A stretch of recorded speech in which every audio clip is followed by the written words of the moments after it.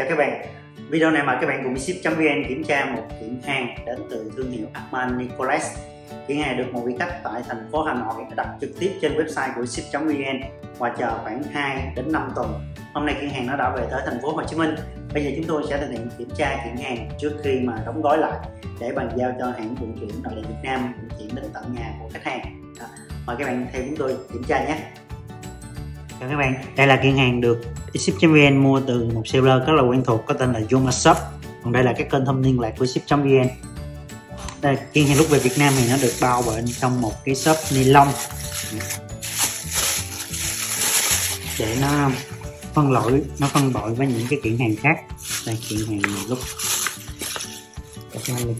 Đây cái bóc carton bên ngoài người ta đã đến kho Mỹ đối tác vận chuyển người ta cắt cái bóc carton đi để nó giảm thể tích vận chuyển xuống đây là cái số tracking này, được ship từ uh, Yoma Shop được ship tới kho của ship nằm ở kho bán OR bằng cái tracking của hãng à, FedEx.com đây số tracking 12 ký tự. Thông tin tracking thì ship.vn có báo liên tục qua email hoặc là các bạn truy cập vào à, trang quản lý đơn hàng trên website ship.vn á. Cái này lúc mua có giá là 996 đô hàng cung cấp là Yoma Shop còn đây là cái chiếc box của thương hiệu Nicholas trước đây chúng tôi cũng đã review um, khoảng năm sáu lần cái uh, những chiếc đồng hồ của thương hiệu này rồi. Chiếc bóc bên ngoài nó rất là to bóc hình vuông. Bên ngoài đây phía trên này nó có cái thông tin sản phẩm này bao gồm là à, thủ nó thuộc series là MH2 đây các bạn chờ chúng tôi đeo bao tay vào nhé chúng tôi để gần lại này. Thuộc series là MH2 SS là là bằng thép con gỉ automatic là máy cơ khí uh, Osricap 280 tức là cái mã của cái cổ máy. Radio là mặt số màu à, xám. SS bracelet bracelet tức là cái dây đeo cũng bằng thép luôn. Giá niêm yết là 3.700 đô rất là cao. Còn cái mã sản phẩm của chúng ta đây có mã là AMNE 640L mã sản phẩm rất là dài. Thì chúng ta sẽ mở cái nắp mở cái bóc giấy này ra để chúng ta kiểm tra. Trong quá trình kiểm tra thì ship.vn có quay lại cho bạn nào quan tâm tới mẫu đồng hồ này, hoặc là quan tâm tới cái độ hoàn thiện của cái thương hiệu Armani Black thì các bạn có được những cái góc quay rất là chi tiết và cận cảnh đây, cái bóc nó to quá nên chúng tôi để ở bên ngoài để thao tác cho nó dễ. Đây. Tại vì để dưới đây nó cấn nó đụng với cái máy quay. Đây, là ta lấy ra khỏi cái bóc trắng rồi. Bên trong của nó sẽ có một cái chiếc bóc nữa. Bên ngoài nó chất liệu là có thể là giả da còn bên phải của chúng ta nó là còn một cái quyển sổ. Quyển sổ à, bên ngoài nó có cái những những biểu tượng của hình cơ khí operation injection này. Đây là quyển sổ có rất là nhiều ngôn ngữ. Chúng ta có thời gian thì chúng ta sẽ đọc qua để sử dụng cho nó đúng cách. Đây là cái tên thương hiệu Atman Nicolet này Gemelan tức là nơi mà sáng lập nơi mà cái thương hiệu này được à, thành lập ở đây là cái logo này. Bên ngoài nó có cái đường chỉ mai màu trắng rất là nổi bật.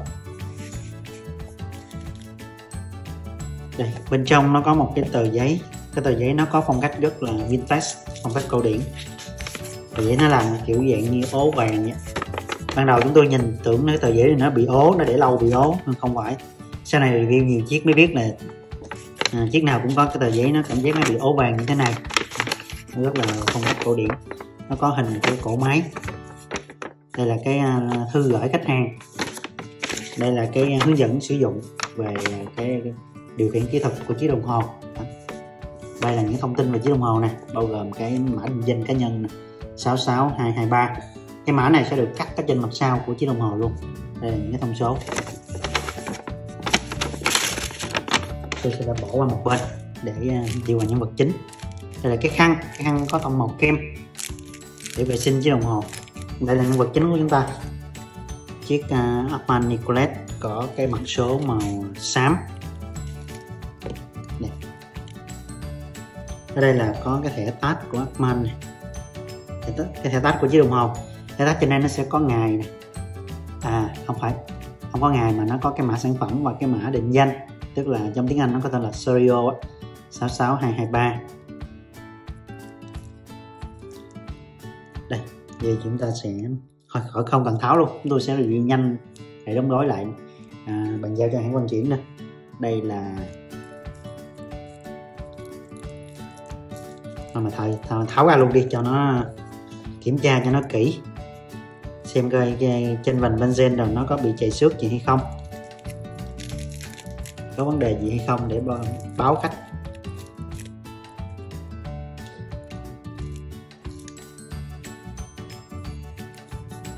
một số trường hợp mà nếu mà gặp sự cố thì chúng tôi sẽ báo khách hàng và thỏa thuận phương án là giảm giá hoặc là chúng tôi hoàn tiền luôn cho khách hàng. Nếu mà bị lỗi nặng quá thì ship sẽ chịu cái ờ, rủi ro đó. Còn trường hợp mà lỗi nhẹ thì ship sẽ à, gọi điện và thỏa thuận với khách hàng có thể giảm giá cho khách hàng. Đó. tại vì vận chuyển mà ờ, rủi ro thì không ai muốn nhưng mà rủi ro thì cũng không thể nào tránh được. Một số trường hợp gặp rủi ro thì cũng phải chấp nhận lúc đó chúng tôi sẽ gọi điện cho khách hàng và báo để thỏa thuận làm sao cho khách hàng hài lòng. Trên tiêu chí là khách hàng phải hài lòng đó thì sau đó khách hàng người ta mới quay lại. Đây là cái mặt số này mặt số à, màu màu xám. Đây là một cọc số là nó dạng như những cọc à, hình à, hình chữ nhật. Đó. trên cọc số các bạn thấy coi coi, nó được cắt vát cạnh này các bạn thấy nó có, có những cái nét cắt xung quanh đó, nó tạo ra những cái độ lấp lánh khi mà cái cổ tay của các bạn chuyển động. Đó, ví dụ như các bạn đeo trên cổ tay này ha.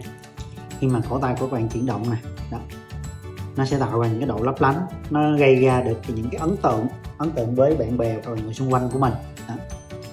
còn mặt số nó sẽ được đánh những cái vân vân gloss đây. Những cái vân mà hình hình cánh quạt hình vòng cung á nó nó sẽ từ từ nó rộng ra ngoài. Cái vân gloss này nó có đặc điểm là nó sẽ được lặp đi lặp lại các bạn thấy không? Nó lặp đi từ trung tâm nó lặp đi lặp lại cho tới ra ngoài viền luôn. Đó. ở đây trên đây là tên thương hiệu Armand Nicolette nè. Chamelan là nó hình lập. Có ba kim kim giờ kim phúc và kim dây kim giờ kim phúc thì được phủ một lớp màu trắng đó là cái lớp dạ quang. Lịch ngày được, được đặt ở góc 3 giờ góc truyền thống. Ở đây có cửa cửa sổ moonfay nè. Những chiếc đồng hồ mà có cái cửa sổ moonfay này nè giá của nó sẽ cao hơn. Ờ, hơn những chiếc đồng hồ mà bình thường. Xin lỗi các bạn nhé. Tại vì nó có thêm cái cơ chế moonfay này thì cái cổ góc máy của nó sẽ phức tạp hơn thì vậy giá của nó sẽ cao hơn. Ở góc 6 giờ là dùng chữ switch max automatic phay đây. Moonfay này là giúp chúng ta là, là theo dõi cái lịch tuần trăng đó, tức là chúng ta theo dõi coi khi nào mà ngày đầu của ngày đầu của tháng âm lịch khi nào mà cái mặt trăng này nó lên nằm ngay giữa ở mức cao nhất á, thì đó là ngày 15 âm lịch lịch này để chúng ta giúp chúng ta theo dõi cái mặt trăng ở đây là những cái vạch chia giờ nè 5 10 15 20 nó để số Arabic để chúng ta dễ nhận, tính toán cho nó nhanh. Nếu mà không có những cái số Arabic này, chúng ta phải à, định hình nó rất là khó hơn. Bình benzen đây là cố định nè. Rồi, bây giờ chúng ta sẽ xem. Đường kính, mẫu đồng hồ này nó có đường kính là 42 mm từ đây sang, từ trái sang phải không tính nấm. 42 nó sẽ phù hợp với những bạn nào có cổ tay là 18 tức là cổ tay 18 là thuộc nhóm cổ tay to. Độ dày nó là 13 13 nó cũng thuộc dạng nhóm là tương đối dày. Đó. Độ dày trung bình là 10 12 là khá dày lên tới 14 là rất là dày. À, còn ở 13 là nó nằm ở cái nhóm gần với cái nhóm rất là dày tức là nó tương đối là dày. Đó. nhưng bạn nào có tay to tròn và mập. Chúng ta sẽ đeo những mẫu đồng hồ nó dày nó sẽ hợp hơn.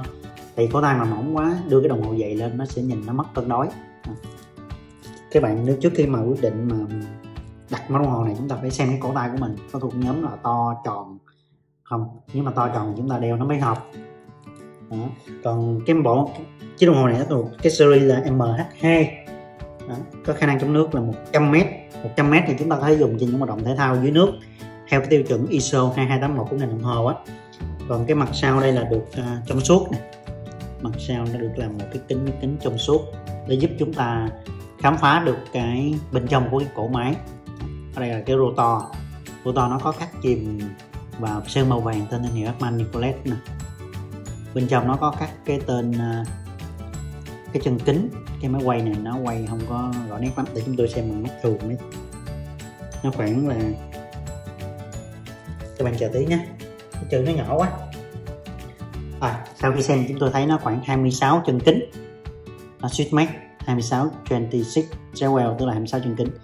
Ở trên đây là có bao gồm thông số Sigmax nè Saveristo nè AN640 ở đây là cái mã định danh nè 66223 đó là cái mã định danh. Stainless steel là thép không gỉ, khả năng của nước là 10 atm có dập nổi. Họ cắt lên trên, họ dập nổi lên trên cái khung vỏ mặt sau luôn. Thép là 316L xung quanh nó có cắt những cái khía khía nè, nó rất là cầu kỳ và có luôn những cái đường những cái đường g bên ngoài hình vòng cung. Ngay cái mặt sau à, họ làm rất là cầu kỳ. Tuy nhiên cái bề mặt của những cái cổ máy bên trong á, thì không được à, đánh những cái vân xoắn ốc giống như những cái thương hiệu khác. Đối với những thương hiệu khác ở tầm giá này người ta đã đánh vân xoắn ốc ở mặt sau rất là đẹp. Tuy nhiên không hiểu sao cái à, thương hiệu Man Nicolet này người ta không có đánh cái vân xoắn ốc về thương hiệu này thì ờ, rất là nổi tiếng về cái trình độ kỹ thuật của cái người sáng lập ra, có trình độ kỹ thuật rất là cao. Đó. Chiếc đồng hồ này thì dây đeo thì nó là bằng thép không gỉ, có 5 năm chị năm cái giải song song với nhau, năm giải được đánh bóng hết. Ở đây là cái khóa nè, khóa bấm này, khóa có hỗ trợ nút bấm và được gấp từ hai đầu, gọi là khóa bấm ha, khóa bấm hai lần gấp, tức là khi gấp lại chúng ta gấp từ hai hướng đây nó có đây ta sẽ mở lên. Trên khóa vẫn còn dán siêu còn nguyên cái lớp siêu màu xanh này. Ở trên khóa này nó có cái tên thương hiệu Armani Nicolet được khắc chìm luôn. Đó, khắc chìm ở trên cái phần dưới của khóa này. Các bạn nhớ những cái loại khóa này nha. Thì các bạn phải gặp cái đầu trên đây vào trước và gặp cái đầu có cái tên thương hiệu vào sau để nó đè lên. Nếu mà các bạn gặp phần này trước nếu mình gặp phần này sau thì nó sẽ đè lên. Nó dễ dẫn tới bị méo cái cái đầu này. Đó, nó có một cái g ga nó sẽ gặp đầu này trước. À, còn đối với cái khóa này các bạn thấy cái khóa thì thì thương hiệu này họ có đánh cái vân xoắn ốc. Cái vân xoắn ốc nhìn nó rất là đẹp. Khi mà các bạn chuyển động thì nhìn nó nó tạo ra những hiệu ứng rất là đẹp. Thì chúng ta sẽ gặp đầu này vào trước. Và từ này vào sau. Đó là tất cả những cái à, góc quay mà chúng tôi à, trong quá trình kiểm tra món đồng hồ này chúng tôi có quay lại. Các bạn thấy đó, bên hông khung vỏ được đánh bóng nè, không có một cái vết chì xước nào hết, mới 100 phần trăm. Bên đây cũng vậy, nấm chỉnh thì được giật nổi cái logo này rất là đẹp. Để tăng khả năng nhận diện thương hiệu, nhìn vô là là biết là của thương hiệu nào luôn. Rồi cảm ơn các bạn đã theo dõi video. Xin chào và hẹn gặp lại các bạn trong các video tiếp theo.